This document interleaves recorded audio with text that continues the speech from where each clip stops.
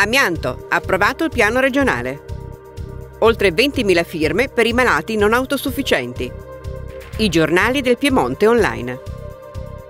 Nella seduta del 1 marzo l'Assemblea regionale ha approvato all'unanimità il nuovo piano regionale amianto per gli anni 2016-2020. Stabilisce le aree di intervento riguardanti amianto di origine antropica e naturale, contiene le azioni, gli strumenti e le risorse necessarie per il raggiungimento degli obiettivi.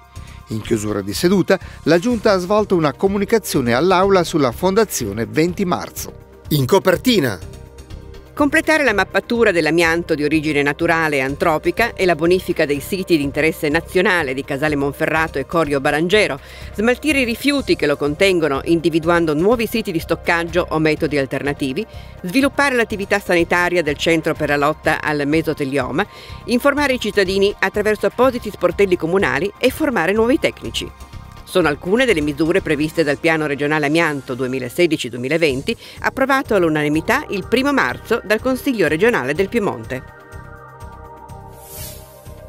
Oltre 20.000 firme per ottenere il riconoscimento delle cure domiciliari dei malati cronici non autosufficienti all'interno dei LEA, i livelli essenziali di assistenza sociosanitaria.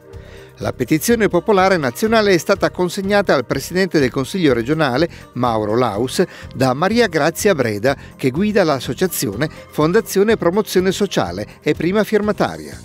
Il Presidente dell'Assemblea ha trasmesso la raccolta firme ai parlamentari piemontesi perché venga assunta una posizione in Parlamento.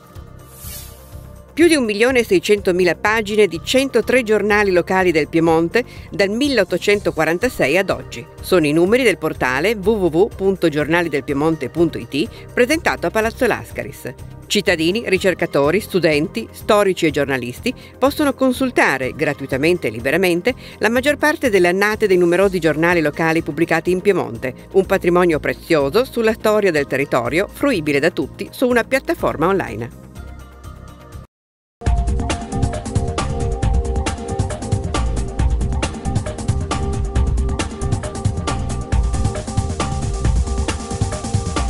Música